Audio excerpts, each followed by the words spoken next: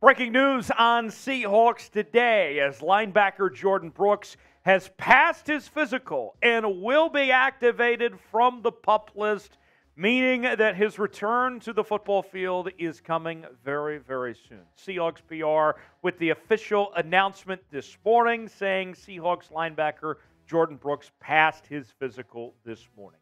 Great news for the Seattle Seahawks, the much anticipated return for Jordyn Brooks. And this answers a lot of questions about Jordyn Brooks.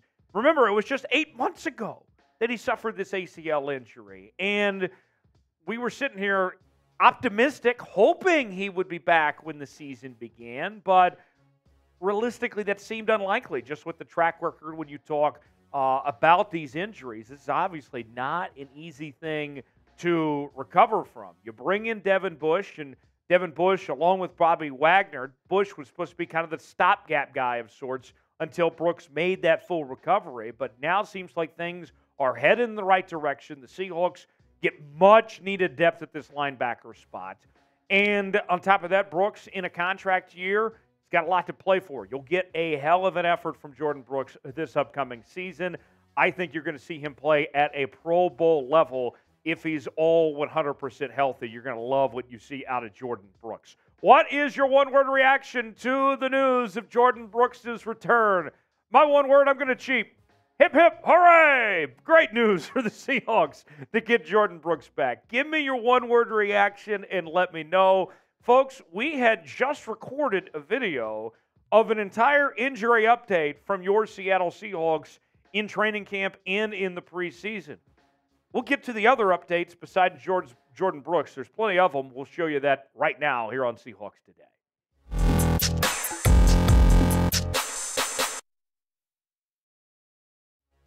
A lot of injury updates to get to on today's show when it comes to training camp. Also, after the first preseason game, we'll go over all of it here on Seahawks today. Let's begin at the running back position. That's where we find Kenneth Walker III with that groin injury. And very good news for Seahawk fans that he made his return from the groin injury on Saturday in practice, in individual drills.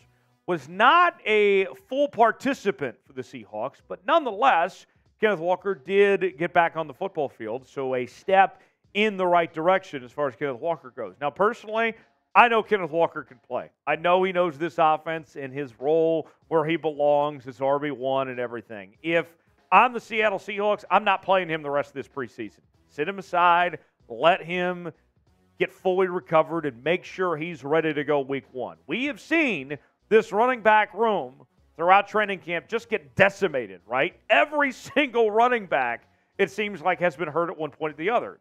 Kenneth Walker with this groin issue making his return. Zach Charbonnet had the shoulder issue. He ended up coming back, and we saw him a little bit in that preseason game.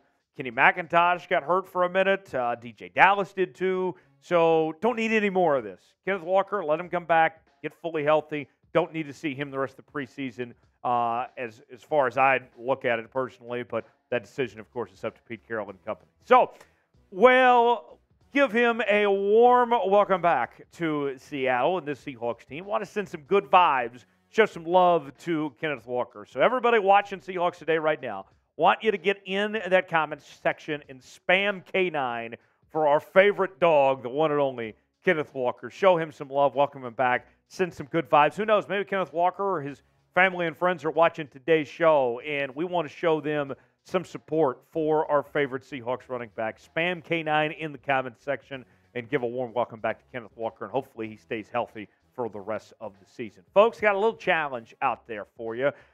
Highly encourage you to share today's show. Here's what I need you to do click the share button uh, as you're watching this show, select the Twitter icon, and click post to Twitter. If you tag me on Twitter at Tyler Jones Live, I will give you a retweet. And for the first 10 people that retweet and follow me on Twitter, I am going to do you a solid and I'm going to follow you back on Twitter. So you pat my back, I'll pat your back, and we all are happier.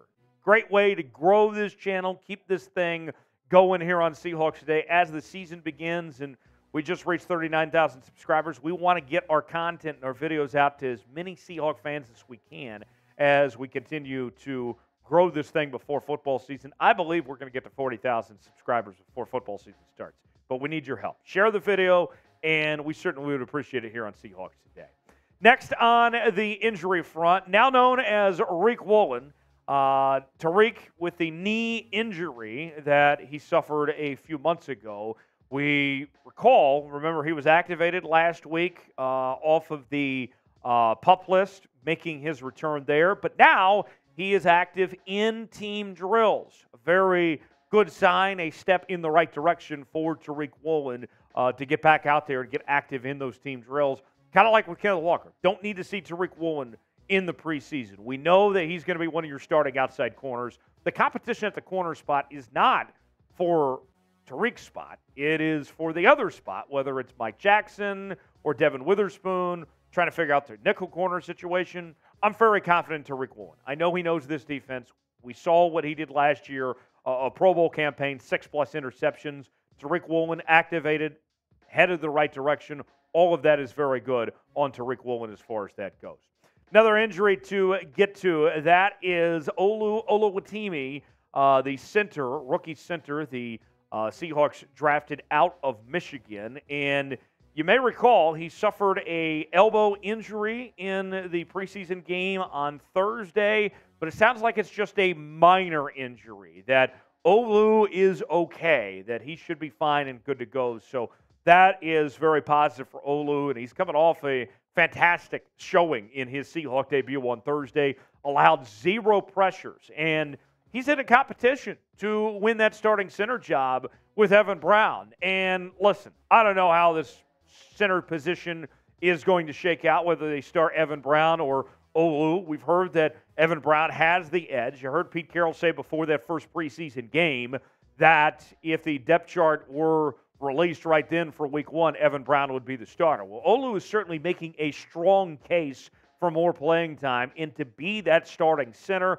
Good to see that this elbow injury isn't that big of a deal, a minor issue. He should be okay. He should be good to go to continue in this competition. Let's see him build off of what he did last week when he did not allow a single pressure on the quarterback there.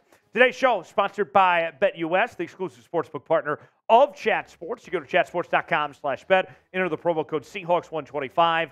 You will get a 125% deposit bonus. Put $100 down, you get $125 to spend for free at chatsports.com slash bet, promo code Seahawks125. Odds are out already for your Seattle Seahawks taking on the Dallas Cowboys on Saturday night, and the Seahawks come in as a touchdown favorite against Dallas. The over under at 40 and a half is where the line stands right now. Get your bets in now at chatsports.com slash bet. Promo code Seahawks125 for that 125% deposit bonus. Hammer the Seahawks winning, and I think I like the over, actually. I think the Seahawks uh, have an opportunity to put some points on the board and potentially make this a shootout. We'll see. Get your bets in now. Chatsports.com slash bet. Promo code Seahawks125 for that 125% deposit bonus.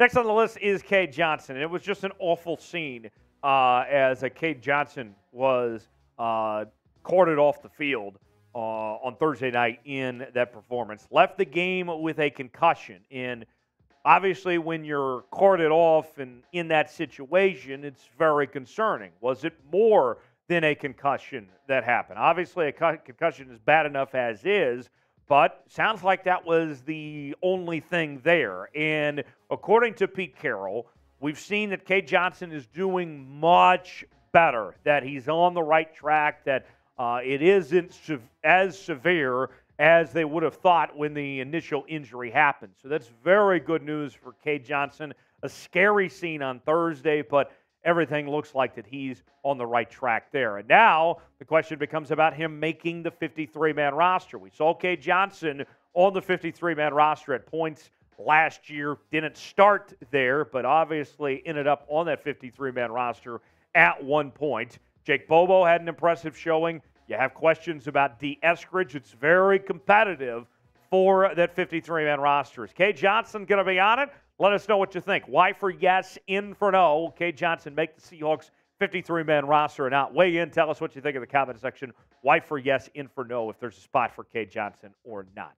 We mentioned the Seahawks Cowboys game coming up on Saturday night. We're going to be live for another watch party here on the channel as we'll get things going uh, around 6 o'clock Pacific time for that game. And I got to tell you, it is guaranteed to be a fantastic time. If you missed out on our last watch party, there is no need to fear because another Seahawks watch party is near as we will have a few drinks on hand. We'll entertain ourselves and hopefully you as well. And myself, Smitty, who's a lifelong Seahawk fan, we're going to go all out, balls to the walls. If you've never experienced one of our Chat Sports Watch parties before, you are in for a treat. Come on in, hang with us, as there's no party like a Seahawks watch party. I can guarantee you that much.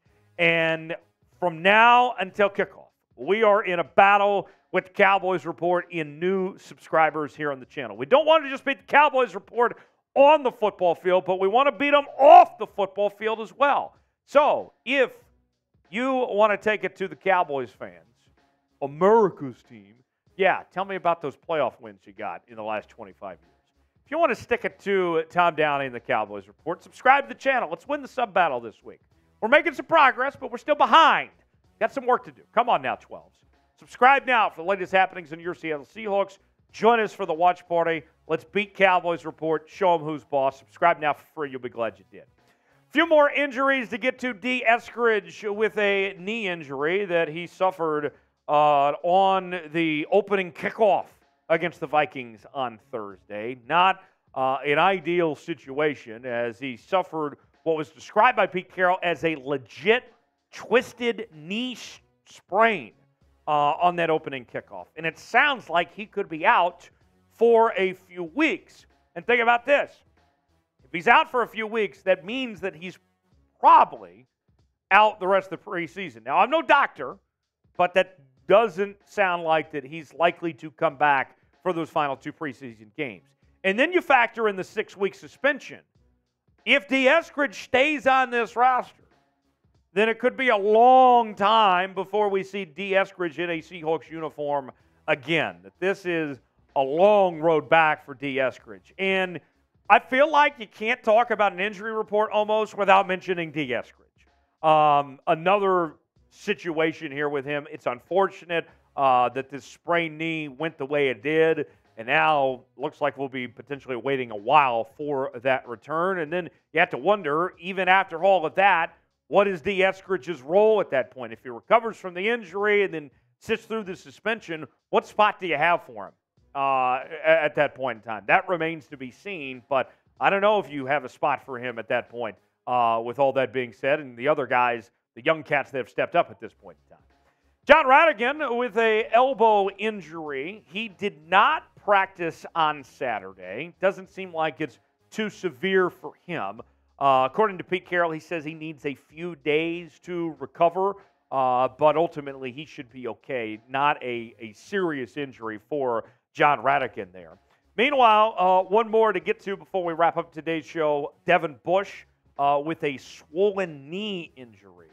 Uh, and he ended up missing Saturday's practice with that swollen knee. The injury, though, uh, good news on Devin Bush's front, it is considered to be a minor injury for him, so not expected to be out a very long time. He should be back uh, day to day, and we should see him very soon. So, uh, before we go, now that we've gone through all these injuries that have piled up uh, through the preseason in training camp, there's only a couple that seem to be lasting long term. And, and we had the positive injury news too with Kenneth Walker and Riq Woolen as well. Those were signs in the right direction. What's your concern level? with the Seahawks injuries right now. Where's it at? Scaled for me in the comment section, 1 through 10. Let us know what you think of the injuries for your Seattle Seahawks, where your concern level is right now. One final note before we go. Unfortunate news last night as former Seahawks running back, it was announced Alex Collins has passed away at the age of 28 years old. Uh, he last played for the Seahawks uh, a couple years ago and uh, died tragically in a car accident. And the Seahawks uh, delivered this statement saying, It is with heavy hearts that we announce the passing of our beloved Alex Collins this morning. Alex was cherished by his family and friends, as well as supporters from all around the world. All who truly know him can attest to his drive, determination, and larger than life personality. We kindly request your thoughts and prayers for our family during this difficult time.